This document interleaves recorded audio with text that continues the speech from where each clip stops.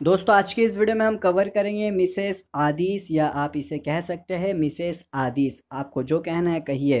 तो इसे लिखा है शीला स्मिथ ने। तो इसे हम स्टार्ट करेंगे। उससे पहले मैं आपको बता दूँ कि मैंने आपके महाराष्ट्र बोर्ड के इंग्लिश के क्लास इलेवन के सिलेबस को पूरा कंप्लीट कर लिया है। जी हाँ पूरा। अगर आपको देखना है तो सिंपली ऊपर आई बटन पर क्लिक करें।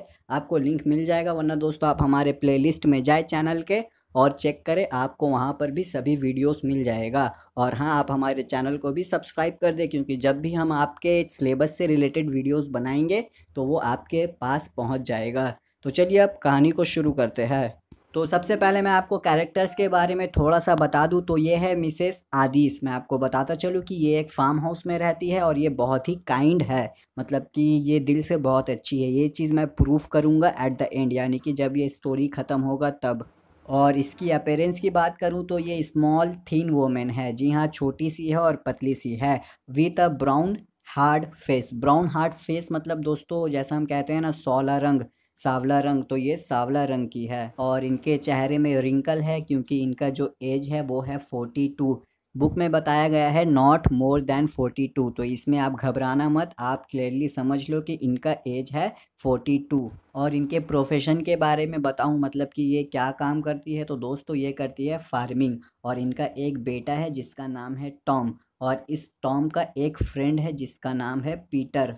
तो अब मैं कहानी आपको बताऊँगा। तो एक दिन रात के अंधेरे में ये पीटर भाग रहा है और ये भागते भागते पहुँचता है यहाँ पर यानी कि मिसेस आदिश के कॉटेज में। अब मैं आपको बता दूँ, ये क्यों भाग रहा है? तो दोस्तों, इसके पीछे चार फोर मैन पड़े हुए हैं।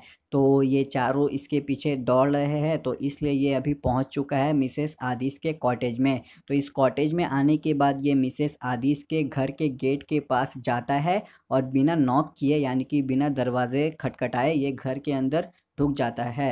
तो अब मिसेस आदिस इसो देख इसे देखती है। और हाँ एक और बात मैं आपको बता दूँ कि इस वक्त मिसेस आदिस टी, यानी कि चाय बना रही है। तो अब ये इसे देखती और कहती है कि क्या हुआ, तुमने दरवाज़ा खटखटाया नहीं और अंदर आ गए? तो अब ये पीटर कहता है कि चार कीपर्स मेरे पीछे पड़े हुए हैं। अच्छा दोस्तों, एक और चीज़ मैं आपको बताता चलूँ कि ये जो मिसेस आदिस है ना, ये पीटर को उतना पसंद नहीं करती। करती है बट उतना पसंद नहीं करती। मिसेस आदिश देख रही है कि पीटर बहुत घबराया हुआ है तो इसलिए मिसेस आदिश पीटर से पूछती है कि क्या हुआ, तुम भाग क्यों रहे हो और इतने घबराए हुए क्यों हो? तो ये पीटर कहता है कि मैं सैंडलवुड में घूम रहा था और फिर उठाने का चक्कर। तो दोस्तों, ये जो वर्ड है, यहाँ पर बुक में यूज़ हुआ है, उठाने का चक्कर। तो मैं आपको बता दूँ, इसे आप कह सकते हैं चोरी करना। तो ये पीटर शायद कुछ चोरी कर रहा था। उसी वक्त चार कीपर्स इसे देख रहे हैं कि ये चोरी कर रहा है। तो अब ये पीटर यहाँ पर कुछ भी नहीं कर सकता, ये इनसे फाइट नहीं कर सकता क्योंकि ये अकेला है। तो शायद इसके पास गन था तो ये क्या करता है? ये गन से एक को शूट कर देता है। जी हाँ इसने एक बंदे को गोली मार दिया और वो बंदा वहीं पर मर गया। और पीटर को नहीं पता कि इसने किसे मारा है। क्यों? क्योंकि यहाँ पर बहुत अंधेरा है। ये उस बंदे का चेहरा नहीं देख पाया जिसे इसने मारा है। सो ये था फ्लैशबैक आप समझ गए होंगे। तो चलिए फिर से प्रेजेंट में आते हैं। तो ये पीटर मिसेस आदिश से रिक्वेस्ट कर रहा है कि मुझे छुपा लीजिए। तो ये मिसेस आदिश कहती है कि तुम इतने लायक के नहीं हो कि मैं यहाँ पर छुपा लूँ। तो ये सुनने के बाद पीटर कहता है, प्लीज़, मैं टॉम का दोस्त हूँ, आप मुझे छुपा लीजिए।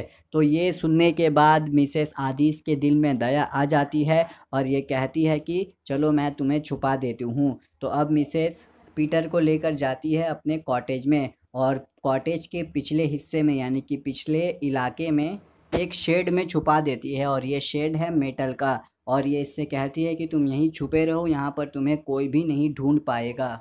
अब यहाँ से मिसेस चले जाती है किचन खाना बनाने के लिए। तो अब पीटर यहाँ पर बहुत ही घबरा रहा है और इसके चेहरे से बहुत सारा पसीना आ रहा है और ये गॉड से प्रे कर रहा है कि ये बच जाए।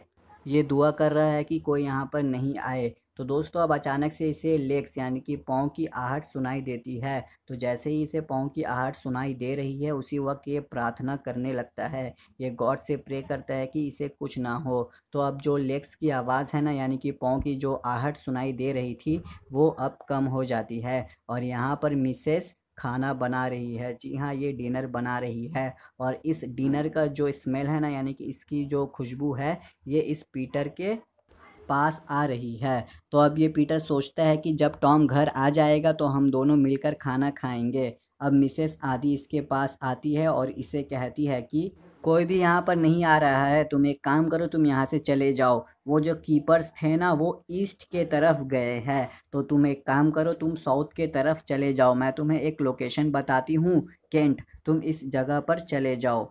वहाँ से तुम्हें ट्रेन मिल जाएगा और तुम वहाँ से लंदन चले जाओगे। तो अब ये पीटर कहता है, मैं यहाँ से भागना तो चाहता हूँ, लेकिन मेरे पास पैसे नहीं हैं तो मैं ट्रेन का टिकट कैसे लूँगा? तो ये सुनने के बाद मिसेस आदिस अपने किचन फिर से जाती है और वहाँ से सात आठ शेलिंग्स, ये दोस्तों करेंसी है तो ये सात से आठ सेलिंग्स लाती है और इसे दे देती है। मिसेस आदिस पीटर से कहती है कि, तुम ये पैसे लो और यहाँ से चले जाओ, ये टिकट से कहीं ज़्यादा पैसे है। तो पीटर मिसेस आदिस को थैंक यू कहता है। पीटर मिसेस को कहता है कि आई डोंट हैव वर्ड्स ऐसा होता है ना दोस्तों कि कभी कभी हमारे पास शब्द नहीं होते दूसरे को कहने के लिए तो इसलिए पीटर यहाँ पर कहता है आई डोंट हैव वर्ड्स तो अब फिर से लेक्स यानी कि पाँव की आहट की आवाज़ सुनाई देती है तो ये सुनने के बाद ये पीटर फिर से यहाँ पर छुप जाता है और मिसेस अपने घर के दरवाजे के पास जाती है। तो यहाँ घर के दरवाजे के पास एक कीपर आता है जिसका नाम है विल्डन तो ये मिसेस आदिश से कहता है कि एक बैड न्यूज़ है। और दोस्तों, वो बैड न्यूज़ क्या है? वो बैड न्यूज़ ये है कि जो टॉम है ना, वो मर चुका है। जी हाँ यही बात विल्डन मिसेस आदिश से कहता है। और ये सारे बातें ये पीटर सुन रहा है। तो दोस्तों, यहाँ पर लॉजिक ये है कि पीटर ने जिसे गोली मारा था ना, वो और कोई नहीं, वो टॉम था। जी हाँ वो टॉम था। अब यहाँ पर बात ये आती है कि पीटर को कैसे पता नहीं चला कि वो टॉम था तो रिवाइंड करिए, आपको समझ में आएगा, जब मैंने स्टार्टिंग में आपको बताया था कि वहाँ पर बहुत अंधेरा था तो इसलिए पीटर नहीं देख पाया कि वो टॉम था। विल्डन कहता है कि आपके बेटे को किसी ने मार दिया, और दोस्तों, टॉम का जो डेड बॉडी है ना, वो अभी मिसेस आदिस के घर के पास आया हुआ है तो मिसेस आदिस अब डेड बॉडी के पास जाती है और उसे देखती है। और यहाँ पर मैं पीटर का हाल बता दूँ